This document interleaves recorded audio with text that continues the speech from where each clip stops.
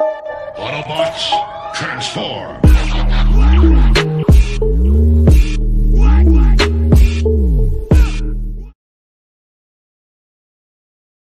Jazz, organize a battle unit. We're going after them. Trailbreaker! What is up, everybody? Welcome to another episode of George Reviews, and I'm back on the countdown. I have been counting down the 1984 Hasbro Transformer collection in numerical order, and I am up to number eight in the catalog, and it is Autobot Trailbreaker right there, and I'm going to mark him off in the catalog. Number eight. And in front of me is Autobot Trailbreaker. Trailbreaker is a Toyota Hilux um, 4x4 camper. And looks very convincing in this mode. This guy rolls great. He sits on rubber tires. And before I get too deep into that, I'm going to rewind past 1984 and tell you that this figure, the mold for this figure, was originally designed and marketed by a company called Takara in Japan in their car robot line known as Diaclone. And in that toy line, this figure came in several different colors. He came in a black, just like this, with um, a different sticker sheet applied to him. It was like mostly yellow. Put a picture in right next to it. He also came in a yellow that is very, very hard to find. And it is very expensive. I would love to own that yellow. And also a blue. And the blue mold was actually released in the United States under Diakron name from still from Takara. And he was released along with the toy that became Sunstreaker and the toy that became Ironhide. I believe that Ironhide was black and that Sunstreaker was red. It was only those three figures actually released in U.S. markets under the name Diakron. All right, let's take a closer look at Trailbreaker's vehicle mode. He actually has a blue translucent uh, driver's side window that eventually for forms the shoulder. Translucent blue windshield same thing on the other side. He even has a transparent window on the side of the little camper part, which is very cool. The top part is represented by a sticker. And again, on this side, and that is very cool. They put a lot of detail into the vehicle mode. A lot of people argue that the vehicle modes are much better than the uh, robot mode. I believe he pulls both modes off very convincingly. The front of his grill is vac metal, uh, chromed out. And you can see mine is um, exhibiting some playware where you can see the red underneath. He has a molded in door and a molded in door handle, which is very cool. Some stickers going down the side depicting some pinstriping on the vehicle. Both sides says four-wheel drive. And he has rubber tires with chrome rims. Actually says something on tires. I'm trying to see it. My, my eyes aren't good enough to see it nakedly. I'm trying to look through the lens, the monitor. I'm sorry, trying to look through the monitor. And it says Desert Dog, just like Optimus Prime. And the treads look great, big beefy tires. Underneath, you can see the legs hanging out. Kind of a giveaway down there. I guess if you didn't know, you might think that was like some type of piping exhaust or something. Well, not too bad. Behind him, you can see plastic molded in tail lights red plastic molded tail lights, a separate plastic than the black truck, which is a nice touch because usually they just like hit it with some paint or even leave out the molding. Oh, and in the reverse of the vehicle, he has a transparent window back there too, which is very, very cool. Very solid vehicle. And also, he has this little compartment right here. And if you see my wheeljack review, I'm going to tell you because of the Diaclone line, that I referred to earlier, you can take a pilot, and I have one same when I use wheeljack, and it is a seat, and you can take this little guy and sit him inside. So if you were a kid and you knew, hopefully I got the right one. like these, these guys come in different sizes and shapes. Like the suits are different. And you can put this little pilot in there.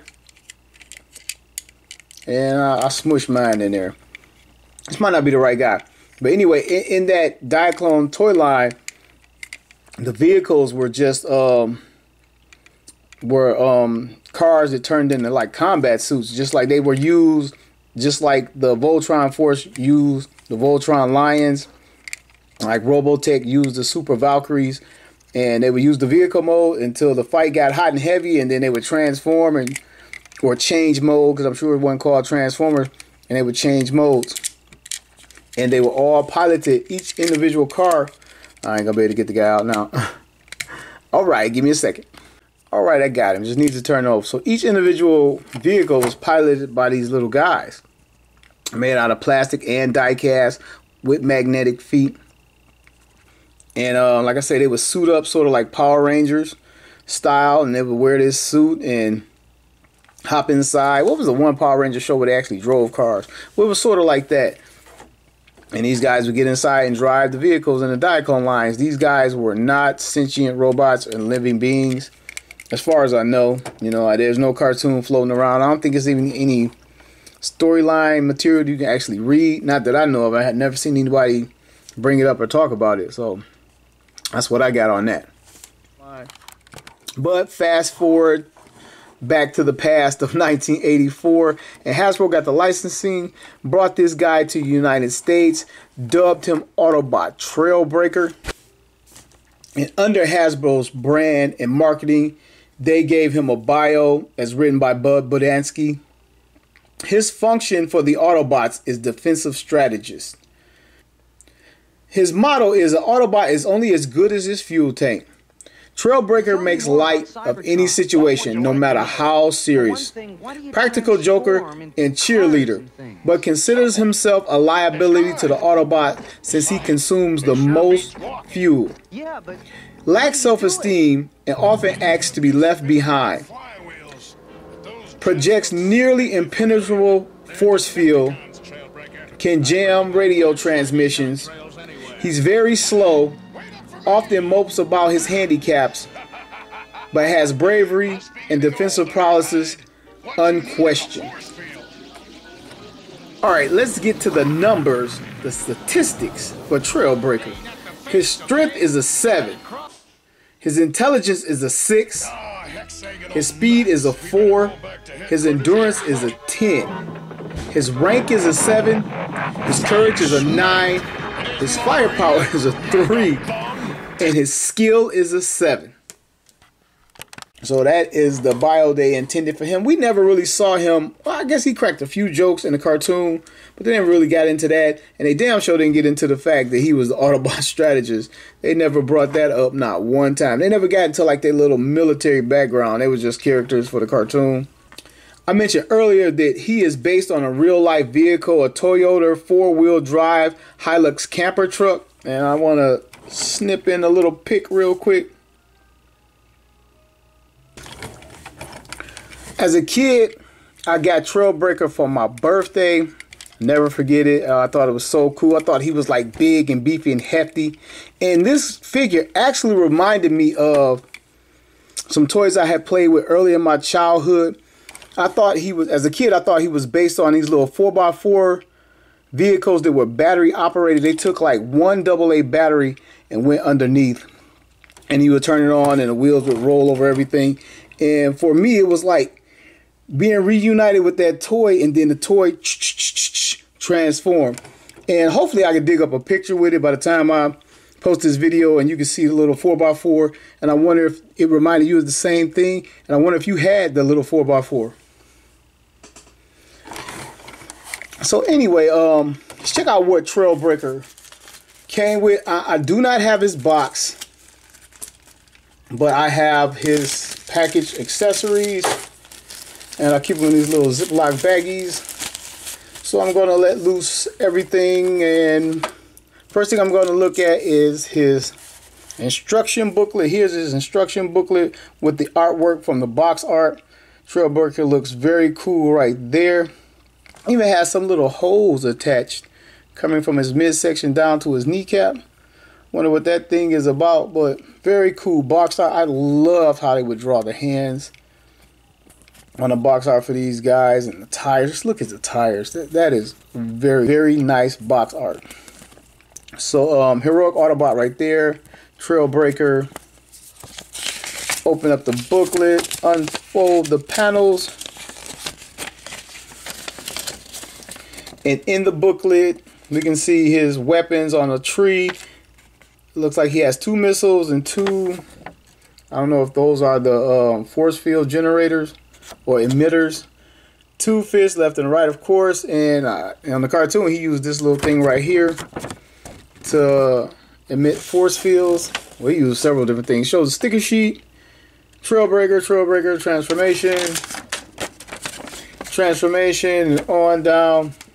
And this is the matching booklet to Trailbreaker because he is pre-rub. It shows you how to use the decoder to read the tech spec. Here is his decoder. I do not have the tech spec.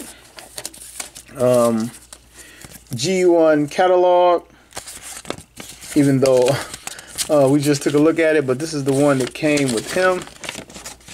So it's nice, crispy, and new, but we are going to take a look at it anyway because this is his review. And we're going to look at the Autobots, all these guys, and the Decepticons. And we're going to get to each and every one of those. Oh, let me turn it over. I didn't do. Let's take a look at, so I don't have the box. This is the artwork from the reverse of the box of the 1984 figures. Very cool, very iconic artwork. And I, I, threw this in. I got a whole bunch of little booklets in a lot one time, and I threw this in with everybody. I don't believe he was actually packaged with this, but he may have been. It is a mail away for the Power Dashers, and this guy is terrible. I'm gonna say that in every review this come on. This guy is terrible. Uh, downshift overdrive camshaft, the Autobot logo watch, Time Warrior. Uh, the little part you would fill out. Reverse of the booklet. And that is pretty much it for all the little paperwork. Let's get to Trailbreaker's plastic accessories and what I have in the baggie.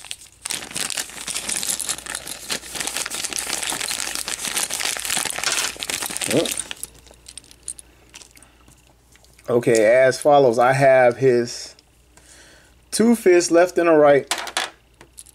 I have, for some reason, I have three missiles. He's only supposed to come with two. I think I was displaying him differently, but um, three missiles, he only comes with two. And the other two little things, I don't think no one ever displayed them with these. You know what I mean? Like, because I mean, you didn't see them in the cartoon, so you really didn't know what they were about. So unless you were like double gunning it, and the thing that most of the time he used as a force field emitter on a cartoon. So let's swing over back to Trailbreaker and let's get him transformed. And the first thing I do, I don't know if it's official, I just looked at the instruction booklet, is release these side panels that house the arms, just like that. Then I would secondly take the, the legs down and then you slot them open apart. Same thing. And then you bring the front of the car down and kind of lock it in and actually like locks. Bring the feet forward. I guess we can set them down now. And then the back just kind of, gravity just gets that to transform. Pull the head up. There is his head. Rotate the arms around. They are connected via the windshield, which is always, you know, makes me a little bit nervous. It's going to break. And you have to bring the forearms up in order to get some accessories into him. And the first thing I'm going to do is add his right fist boom, and one of his missiles or guns, whatever you want to call it, to his left arm because that's how he was seen in the cartoon. Then I'm going to add his uh, force field emitter.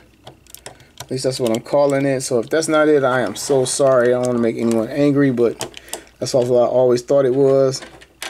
And then in the catalog, he had like, that's why I had these two. He had these two things like set back here on a cartoon, he just really had one, and they just they just sit in these little holes right here, spaces. Not even that they just kind of sit there.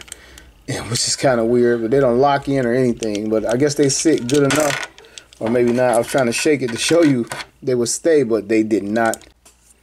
I think when you put them both on, it makes them look a little bit more badass, a little bit more threatening. And when I was little, man, I used to always think this guy was like overweight. And my friends used to be like, well, um, you can't have an overweight robot. But um, Michael Bay kind of showed us that you can have an overweight robot. I think it was Hound, had like a little gut. I know it was a little Target race car thing. So like, one of those guys. I, I really didn't pay attention too much in Michael Bay movies. But the guy had a little gut. But on the cartoon, he was drawn kind of slender. So let me drop a cartoon pic. But yeah, I thought he looked cool. He was very solid. I love the fact that his uh, feet were not connected via pin. And uh, he has the vac metal legs. The bottom of his feet are die cast. The vac metal forearms, vac metal weapons. He has vac metal on the little vents on the side of his head. We don't know what those do. I'm not sure. Were they really drawn in that well on the cartoon? Not really sure. But he has um, a lot of stuff going on. Cool stickers. He has these little red bits at the kneecaps and at the um, shins or whatever. But he was a very cool looking robot. Very functional robot, I, I think, as far as play value. I'm sure the, the, the missiles don't fire nowhere near as well, but let's check it out. Yeah, at least they still come out. But that was the thing, man. Back in the day, these things would let loose fire Decepticons and like everything over there. All the Japan toys, like the giant 12 inch Godzilla was 18 inch. The tongue would come out and the fist would fly out, everything. Tranzor Z, they made sure uh, the fist flew out on their robots. And again, the spring is not that great. He's an older toy. It's in pretty decent condition, except for the stickers. He's missing the little shoulder stickers. So, um, anyway, I'm going to do articulation. It is G1, so it's not going to go nowhere. Uh, there is nothing at the head other than the transformation. You can get this out of it. But it is some articulation. The arm will completely 360. He actually hinges at the elbow. And because it is a loading launching port, you can 360 the missile or you can 360 his fist. Why you would want to, I don't know. Then the fist has a slot in it. Gets to save on plastic, but it feels solid other than that little slot right there. And his legs, you can't get anything out of him. Well, because of the transformation, you can do something. I don't know if he'll stand, but you can get him to look like he's walking or something. And taking a look at his feet, because they transform, I'm losing that missile again. Because they transform, you can get that out of it. So you can get him to do a couple little things. And uh, you just saw that like it's a bummer that this backpack does a lot because the older this figure gets, the more it flops around back there. And I know as a kid, I played with this guy to death. Like uh, he was never the little star in my little storyline when I played, but uh, he was always telling you, "I'm tough."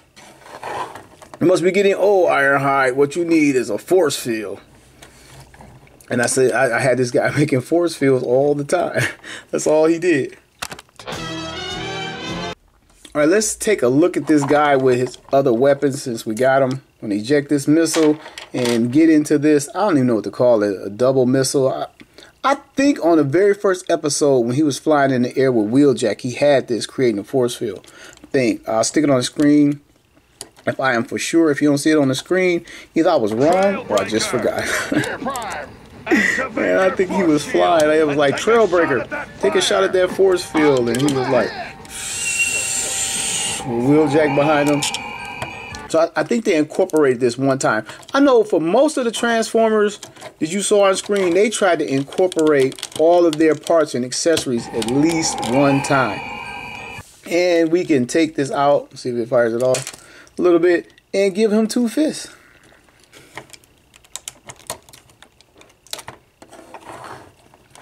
And this is how it looks with both fists attached. And man, I would have him uppercutting Decepticon. Wow! Wow!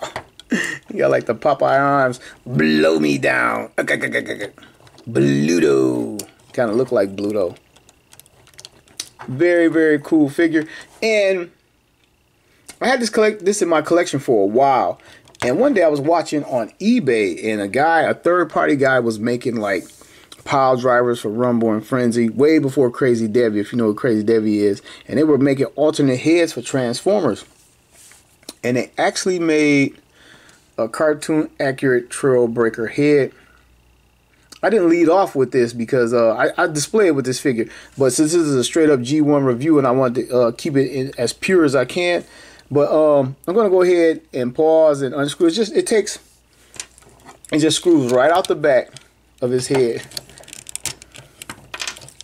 right there and then you just add the faceplate to the front. It's very simple very easy. It's made out of a little resin. It's not really glossy. I kept saying i was going to put a, a, coat of gloss on it to kind of make it look more plasticky. Is that a word? We're going to make it a word. And get this little head on here. All right here he is with the cartoon accurate head face. And i know people are going to ask me where i got it from. Like, like i said i got it off ebay or who i got it from. I got it off ebay from a seller. I can't even remember his name. It's been over 10 years. I had this. I think I grabbed Perceptor and I got I grabbed a couple more faces that were cartoon accurate. And this is one of them. So tell me what you think. Does it look cartoon accurate to you? Okay, it's time to size Trailbreaker up and run him down. Here he is with Autobot Commander Optimus Prime. Here he is with Autobot Wheeljack. Here he is with Decepticon Communicator Soundwave. Here he is with Mighty Megatron. Here he is with Palette Swap Autobot Hoist. And last but not least, here he is with his Diaclone predecessor, Blue Trailbreaker. All right, it's time to wind this thing down. But before I get out of here, I want to tell you that the voice actor that voiced Trailbreaker in the 1984 cartoon was Frank Welker. And if you don't know who Frank Welker is, cut the video off now. Frank Welker voiced Megatron, Soundwave, Ravage, Ratbat, Sludge, and a whole host of other characters and not to get into the characters outside of the Transformers community. And I'll get to those as I review more toys related to Frank Welker's voice acting. And some buying tips for Trailbreaker. Um, he, he's covered in chrome. So you want to watch for chrome where it's, it's mostly prone near his foot where you actually touch it to transform it and on his forearms and of course his weapons so you want to look for good chrome weapons and parts um, and you want to always check for looseness on the figure uh, with the tires and the arms and make sure these joints aren't cracked or broken because it's connected by this translucent plastic that's supposed to make up the windshields. And with all vehicles that have transformer vehicles that have rubber tires, want to make sure they're not dry rotted or cracked. And please, and you should try to buy complete whenever you can. Make sure he has all his accessory. He comes with two long missiles, two short twin missiles, this little head um, force field projector, and two fists. And stickerware. You always got, I mean, a vintage toy is most likely going to have stickerware, but you always want to take a look at stickerware. Uh, that's my buying tips for Trailbreaker. I want to thank you for watching another episode of George Reviews. The reviews where every toy has a story. Leave yours in the comment below.